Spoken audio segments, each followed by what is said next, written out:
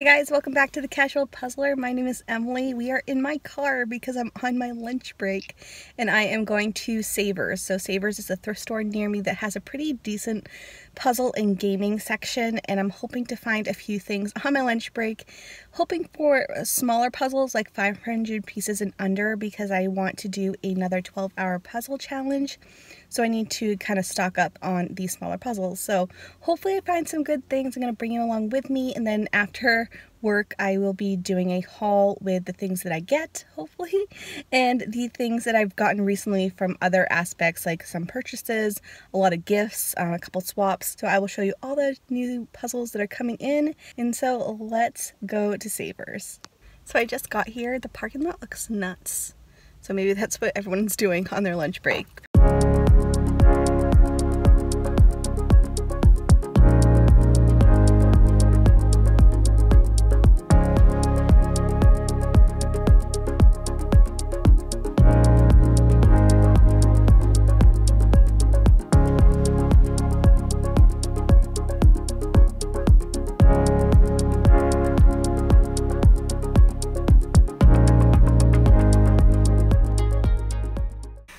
I am back and it is actually the next day. Last night me and Dave went out to dinner, came back late and didn't have time to film. So I am sharing with you the things that I got from my thrift haul. Also some things that were gifted, swaps, purchases. So we're just gonna go into all the puzzles. I'm gonna show you what I'm looking at right now because it's kind of nuts. On this office chair it's just like a huge stack of puzzles. I'm so excited to get started. All right, so let's just get into this. The first thing I'm going to show you is actually a game. Um, so whenever I go to Savers, I love to look at the games as well. And I did pick up one, and then everything else in this video is puzzles. So I just wanted to show it to you because it's so quirky and it makes me happy.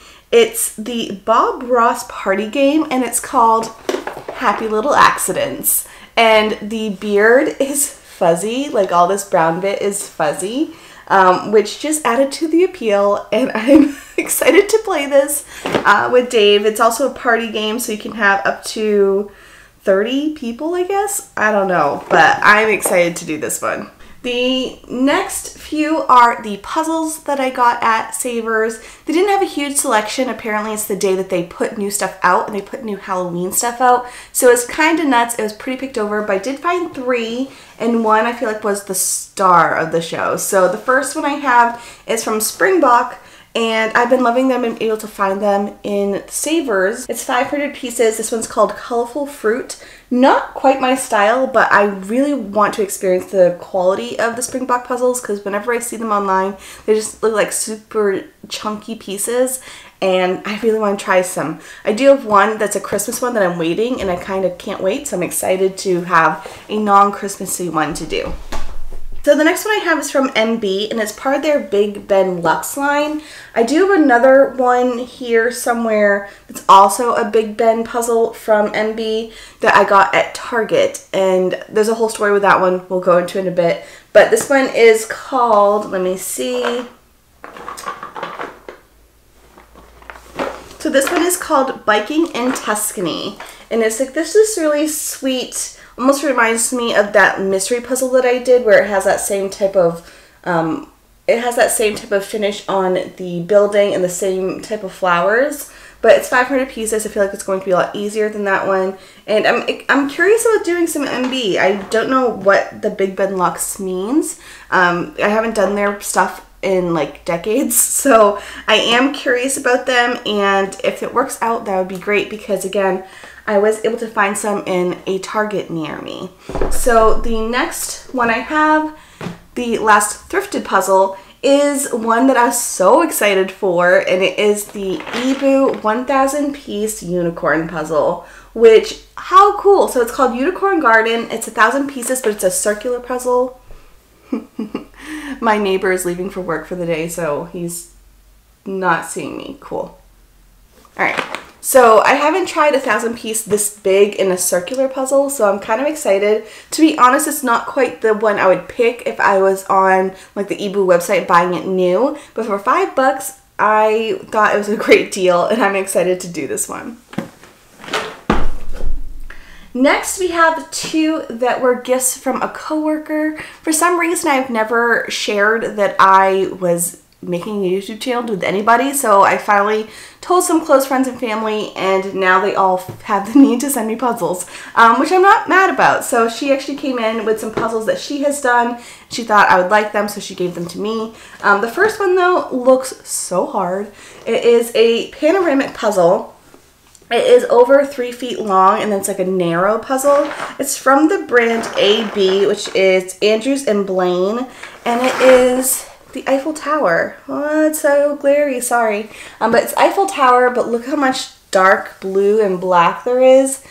Gonna be so crazy hard. I'm excited to do it because I have been to the Eiffel Tower before, but I'm also really nervous about doing it because it's gonna take me forever because it's a thousand pieces and the amount of like blue black. I hope it's like, I mean, it does look like there's a little bit of a gradient, but I'm sure like this area is just gonna be super hard. So that one will be in like the forever future because I feel like I'll never be brave enough to do it unless I was like on vacation or if it's one that was just like out somewhere for weeks at a time where we do like a few pieces here and there, but that one looks so crazy hard.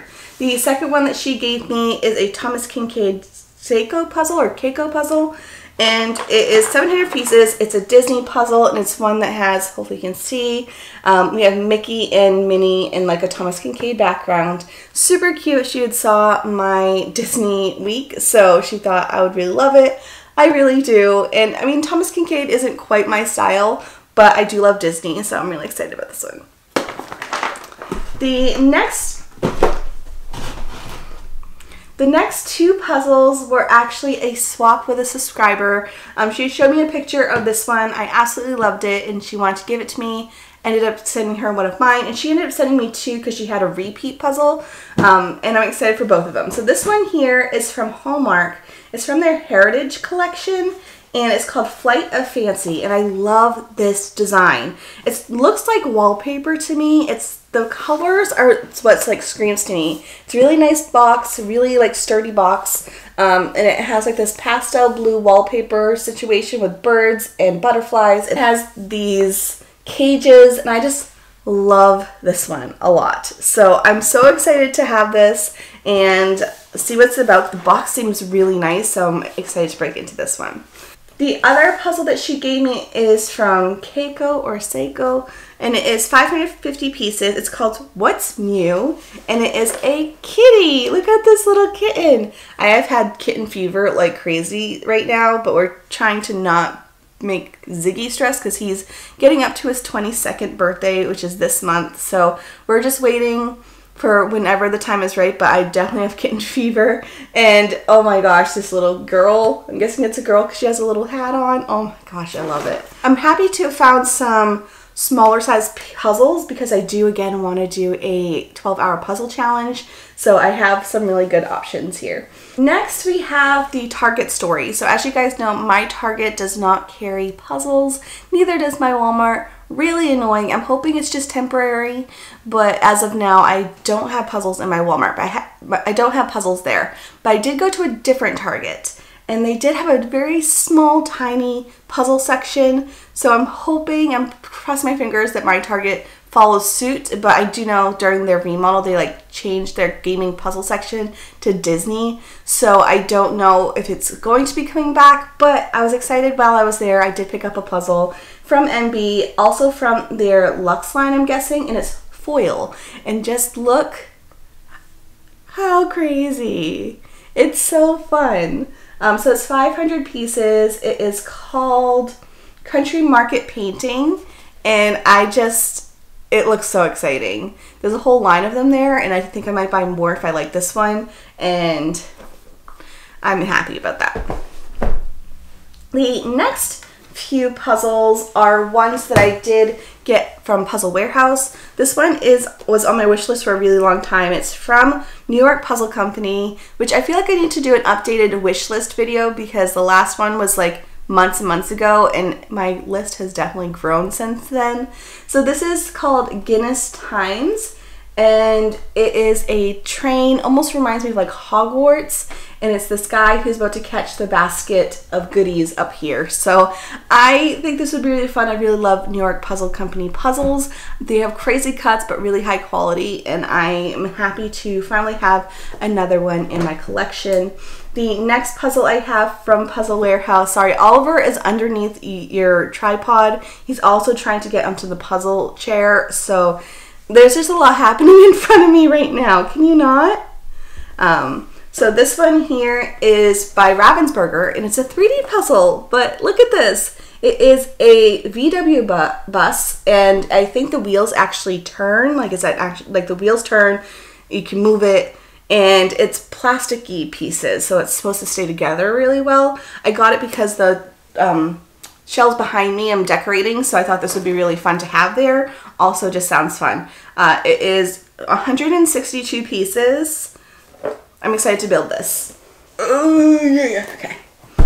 The next one I got from Puzzle Warehouse is called Uninvited Guest. I got it because of Halloween. It's 500 pieces. It's from Suns Out, which me and Suns Out haven't had the best experience. Their puzzle piece shapes are nuts. Um, but the last one I tried from them was a deer shaped puzzle with about 30 different deer inside of it and it's really hard to, to decipher like color from one deer to the next and there was no way to see which items were um, edge pieces so it was crazy difficult so I'm excited to have another option that's just like a normal rectangle and not a deer shaped puzzle with deer um, but it's called Uninvited Guest. I got it for Halloween and I'm gonna have to do it at an angle so it doesn't give you a giant glare.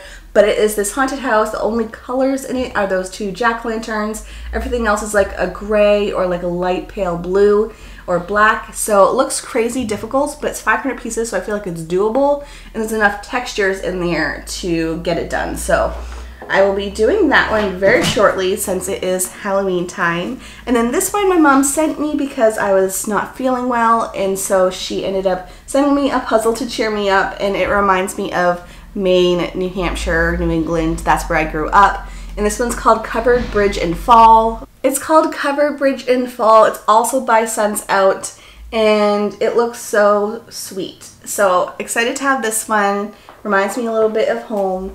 Um, so that's it from this puzzle haul. I have a lot of new puzzles to do. I will have a lot of smaller puzzles, which I'm excited for because I will be doing a 12 hour puzzle challenge shortly. So thank you so much for tuning into this video and coming along with me thrifting and I will see you guys in the next one. Bye!